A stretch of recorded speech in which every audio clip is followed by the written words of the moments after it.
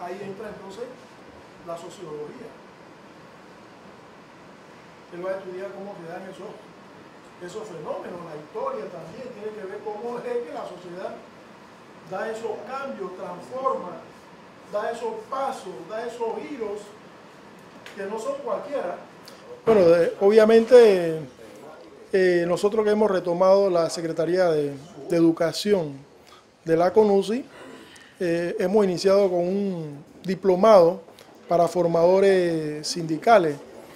La intención de este diplomado es que compañeros que han pasado por los distintos niveles de formación nos acompañen un equipo de, formadores que puede pues, eh, dar formación no solamente dentro de la confederación, sino en los sindicatos que forman parte de la CONOSI. Este es un proceso que apenas inicia. Eh, esta semana se está desarrollando esa actividad. Luego ellos van a su centro de trabajo. Va a haber un, un seminario también intermedio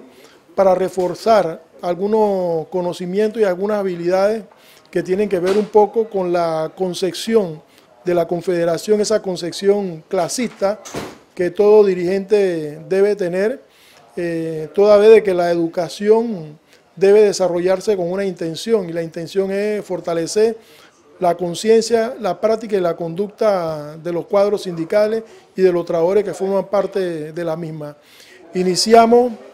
esta semana con el tema de filosofía de educación para poder allí, desde allí expresarnos eh, qué es lo que pensamos nosotros no solamente con respecto a la educación en el mundo sindical, sino la educación también eh, en, esa educación que se imparte desde la escuela, en función de ir creando las condiciones de vida y apropiadas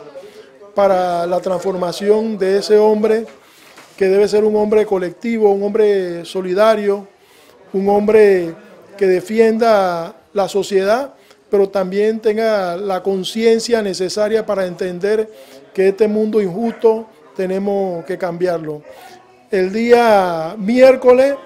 va a llegar la, compañera profesora Concepción Vélez, ella va a tocar el tema que tiene que ver con la comunicación. Eh, allí en esa, en esa experiencia de tres días eh, se van a dar herramientas que tienen que ver con el desenvolvimiento del formador, de la comunicación de ese formador que debe tener con los discentes eh, y van a aprender una serie de habilidades que tienen que ver con la destreza para moverse eh, en, el aula de clase y tienen también que ver con la comunicación gestales que debe desarrollar el formador para lograr una mayor comprensión en los procesos estos formativos que se llevan a cabo.